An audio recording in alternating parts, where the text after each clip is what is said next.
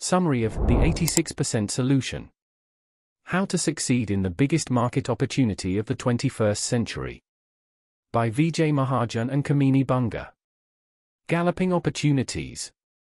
Countries with a per capita gross national product of less than $10,000 house 86% of the world's population.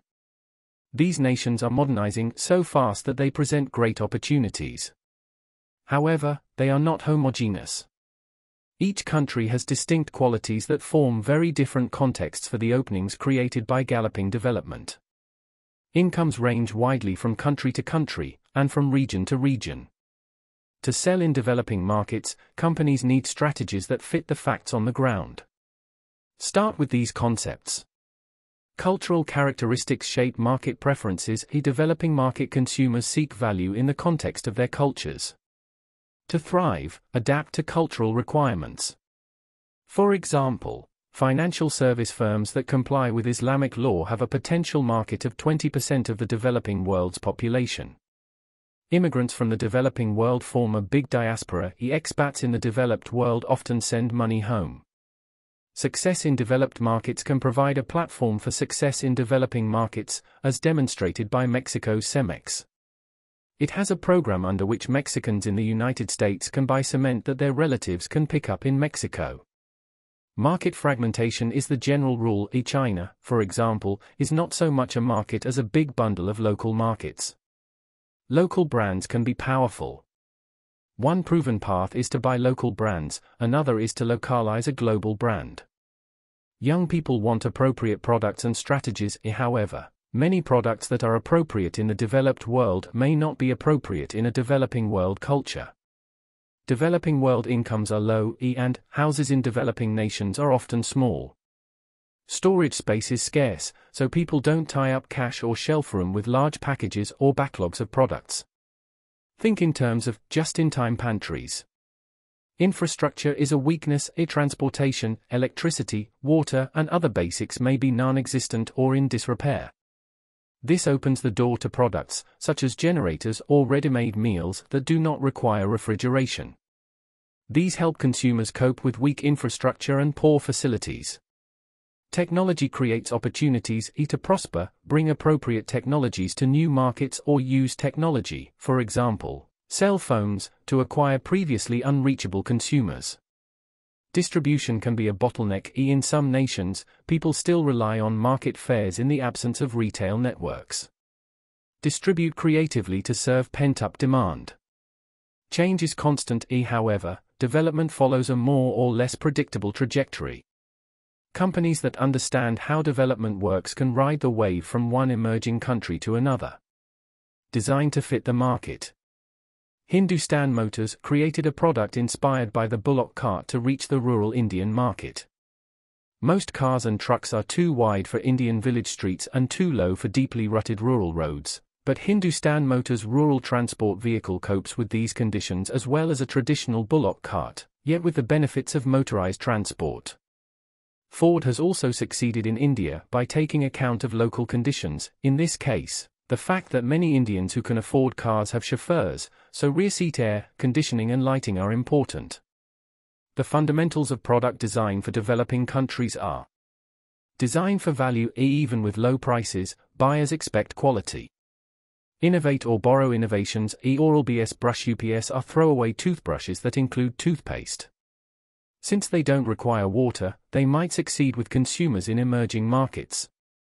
Adapt to the absence of a consumer culture. Amway hit trouble in China when it offered a money-back guarantee on its products. Chinese customers used the products and repeatedly returned empty bottles for replacement. Amway's refund costs soared to more than $100,000 daily.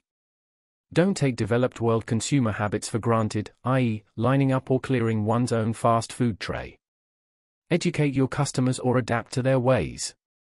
Design for religious and cultural preferences, customize your offering for the market you want to reach. For example, a halal food product has a religious advantage in Muslim countries. Think of what the product means to the user. Indian housewives express their love for their families, in part, by rubbing soap bars on their laundry. This damaged soap powder sales, so Hindustan Lever developed a bar of superior laundry detergent. Market to wealthy housewives in India, these memsahibs set an example that greatly influences their domestic employees. These affluent housewives may buy mobile phones for their staffers, send their kids to school or tell them which medicines to take. Pay attention to the diaspora. Outmigration is a fact of life in the developing world. Immigrants constitute an enormous market in the developed world and a potential channel to larger markets in their homelands. The World Bank estimates that the diaspora remits some $93 billion a year back home, a flow of funds second only to foreign direct investment. People with close ties to developing countries are the developed world's fastest growing population segment. Recognize the opportunities that immigrant populations present. These tips, based on the experience of successful firms, may help. Recognize diaspora opportunities. People who live outside of their home countries may provide ways for companies to penetrate those nations. One of Mexico's biggest mortgage finance firms lets Mexican immigrants in the U.S. take out loans to finance their relatives' home purchases in Mexico. Retailers in New York City and Chicago sell appliances that don't fit U.S. electric outlets, recognizing that buyers will send the machines to relatives back home. Facilitate the flow of money and information, Western Union, Walmart, and 7 11 markets are all in the remittance business. ICICI Bank even has a Money to India program. Telecommunications providers, such as India's Reliance Infocomm, have developed special, discounted plans for calls from the developed world to immigrants' home countries. Some firms find opportunities in helping entrepreneurs, for example, a California venture capital fund invests in startups in India. Develop products and services for immigrants living abroad, Frito-Lay sells brands produced by its Mexican subsidiaries to Mexican immigrants in the US who want a taste of home. Patak is among Britain's leading Indian food brands. When immigrants go home, be there in India and Mexico, returning travelers benefit from discount airlines, matchmaking and wedding services, and stores offering language assistance and local credit cards. Work both ends of the line. Bollywood movies are big hits among the Indian diaspora populations in the United Kingdom, Australia, and the US. Sulekha is an online community catering to Indians all around the world. Similarly, such Chinese portals as Sina are popular among both in country and overseas Chinese. Export from the developing world. Diaspora expats from emerging markets may offer channels for selling goods from their homelands to the developed world. Localize the brand. Anheuser-Busch bid $700 million for China's Harbin Brewery because its brand is so strong in northern China. Foreign brewers learned the importance of local beer brands in China from their first, expensive, unsuccessful attempts to penetrate the market. Contrary to the predictions in the Globalization of Markets by Theodore Levitt, globalization has not erased local brands, which remain popular. No single Indian market or Chinese market exists. Each country has hundreds of local markets, dominated by hundreds of local brands. In such fragmented, emerging markets, let the following principles guide your strategic thinking. Become a local brand EMTV and Disney have learned about localization. For Disney, the lesson was particularly difficult. Disappointments at Euro Disney led to a different approach at Hong Kong Disneyland. The company offered Chinese language programs and foods. It even considered the principles of feng shui when it designed the park. MTV offers programming in local languages, such as Hindi.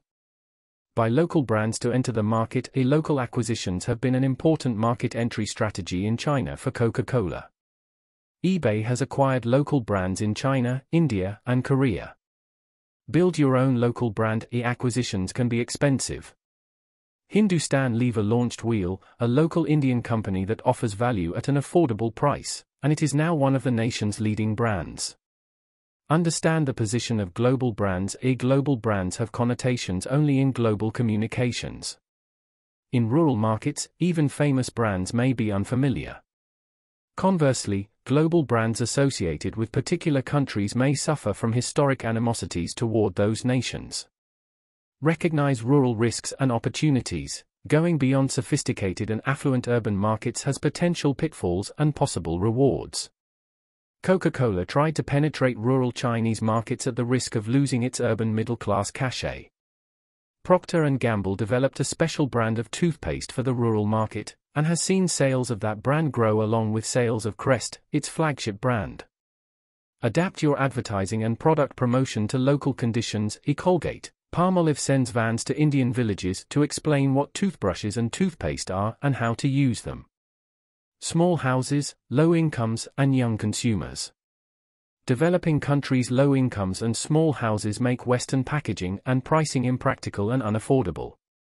In India, Unilever and Care offer products in little packages with low prices, because that is what consumers prefer, can afford, and can shelve.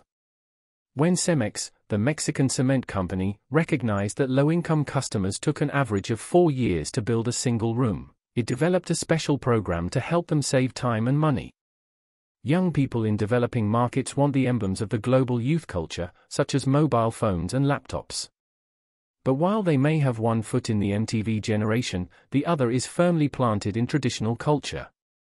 A Middle Eastern knockoff of the UK reality show, Big Brother, lasted only two episodes after 1,000 people protested in the streets because a man and a woman kissed on the show.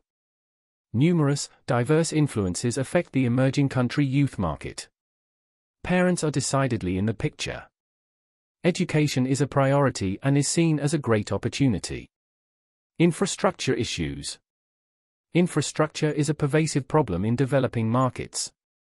Electricity is unreliable, refrigeration is scarce, roads are bad, and the water is undrinkable. Each condition presents a problem and an opportunity. Companies profit from the absence of infrastructure by offering substitutes, like generators, water filters and vehicles capable of negotiating bad roads. Companies have made money by offering detergents that require very little water, food in packages that don't need refrigeration, and pricing or payment practices that fend off shadow economy predators. Distribution can be difficult in emerging markets, where retailers often have small den like shops. These tiny stores are ubiquitous in China, the Philippines, India, Africa, and elsewhere. Local brands often devise distribution and delivery systems that make excellent use of these channels. Unilever built different distribution systems for various market segments, even sending sales representatives to market fairs associated with religious celebrations in rural India. Similarly, Citibank has a branchless bank network of thousands of sales agents who visit customers' homes. Emerging markets follow some reasonably consistent development patterns. Companies should study these patterns to understand how these markets are changing and what new opportunities will arise.